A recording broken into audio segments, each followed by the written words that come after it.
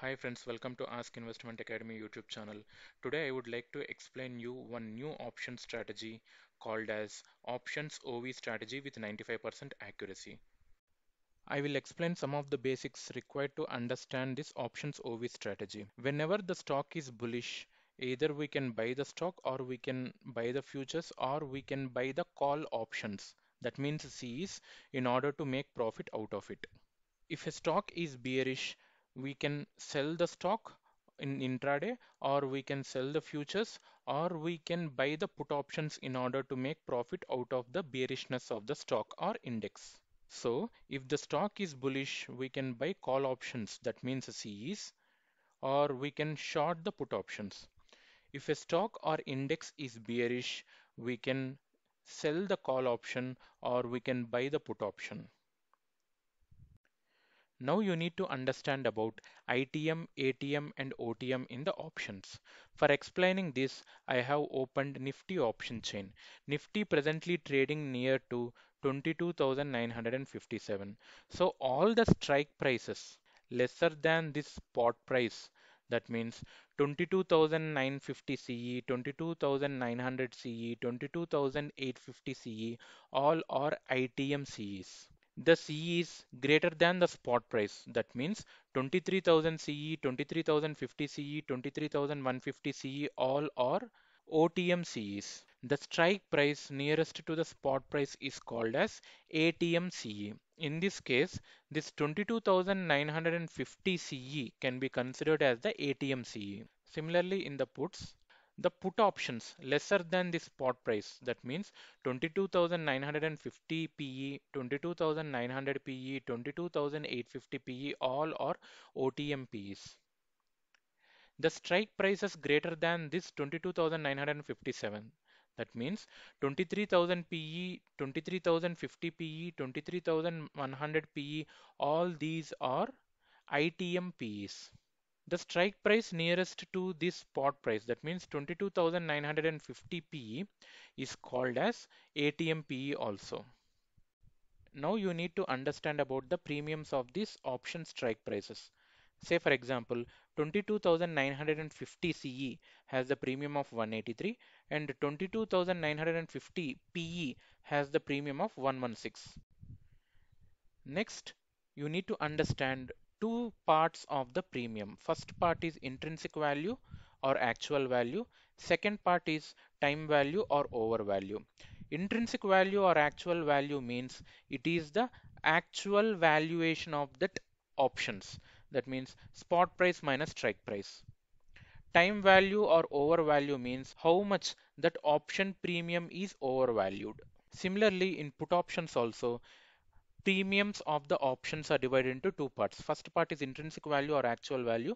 Second part is time value or over value. So intrinsic value or actual value means strike price minus spot price. Time value or over value means how much the option premium is overvalued compared to the intrinsic value. Now we will try to calculate the actual value and over value of the premiums. Presently Nifty is trading at around 22,957. We have taken two ATM strike prices that means 22,950 CE and 22,950 PE. For 22,950 CE premium is at 183. That means its actual value is 7 and overvaluation is 176. Coming to the put options, 22,950 PE is trading at around 116.75. That means its actual value is minus 7 and overvaluation is approximately 124. Now how much is the overvaluation in CE and PE? Please compare. Overvaluation in Nifty ATM CE is 176 and overvaluation in Nifty ATM PE is 124. Now which one is overvalued? Nifty 22,950 CE is overvalued compared to Nifty 22,950 PE. Now you have to keep track of the overvalued options. If the overvalue is more in CE, then market may be bullish in near future. If overvaluation is more in PE compared to CE, then market may be bearish in near future. I will explain you this concept with the help of charts. You can easily apply this options OV strategy using the Upstox platform. If you don't have an account with the Upstox, please open a demat account with the link given in the description in order to trade in the options with less brokerage and less deduction. Also, you can get the option chain at one single click. By clicking on this option chain, you can able to easily observe which one is overvalued. Either CE premiums are overvalued or PE premiums are more overvalued. Now I will try to explain this options OV strategy with the help of the chart. I have opened the Nifty 50 chart on 23rd of May with 15 minutes time frame. At the end of 9:45, Nifty was trading at around 22,681. If you see, this Nifty has broken its previous day's high and it is trading at around 22,681. Now I will try to observe CEs and PEs at this ATM value. What is that ATM value for 22,681? Approximately it is 22,700. Now I will try to open 22,700 CEs and PEs in the Nifty to observe the overvaluations. You can observe this overvaluation directly opening the option chain at that particular point, but that is the past value. What I am doing is with the help of chart, I will explain. This is 22,700 CE at around 945. It was trading at around 180, but at 945 Nifty was trading at around 22,681. So uh, how much this 22,700 is overvalued? It is 181 plus 19 approximately 200. This 22,700 CE is overvalued by 200 points. Coming to 22,700 PE, it was trading at around 142 and its actual value is 19. So 142 minus 19 that means its overvaluation is approximately 123 now ce's overvaluation is 200 and PE overvaluation is 123. That means CEs are hugely overvalued compared to PE. That means big players like FIIs, DIIs and big retail traders are expecting market to increase hugely on that day and as expected market has increased hugely on that day by another 300 points in intraday. You have two options here. Either you can buy CEs and hold till the end of the day that will give you good profits or you can short PEs also and and you can hold till the end of the day. But if you buy CEs, you will get more profit. If you short PEs, you will get less profit. This is valid in the day where there is a one-sided huge movement is available. But whenever there is a range bound movement, shorting the options is the best option. Why? Because premium decay will help you to earn more money. Now coming to the 24th, Nifty was trading at around 22,985 approximately. Here, what is the ATM value? ATM value will be approximately 23,000 CE and 23,000 PE. Now I will open 23,000 CE and 23 3000 PE chart for 24th. So its value is 185 at 930. That means this CE is overvalued by 200 points and PE is overvalued by 145 points. So CEs are overvalued by 200 and PEs are overvalued by 145 approximately. So that means big players like FIIs, DIIs, big retail traders are expecting market to increase. Why? Because Nifty has broken its all-time high and there will be no sellers in coming future at the higher value. So big players have bought CEs at the huge valuation. Now whatever I have told, either you have two options options here. One is buying CEs and another one is shorting PEs. I will choose shorting PEs instead of buying CEs. Why? Because I will explain you. If I short PE, PE at around 930, it was trading at around 165 and it closed at around 137. It got approximately 35 points at the midway and around 28 points at the end of the day. So those 28 points is profit for you. Again, I am telling you how you can short the option. You require 1.5 lakh rupees to 2 lakh lakh rupees if you want to short a PE option. But as I already told in one option spread concept, what you have to do? First you have to buy FAR OTM PE before shorting this 23,000 PE. That means you have to buy 22,500 PE or 22,000 PE before shorting this 23,000 PE.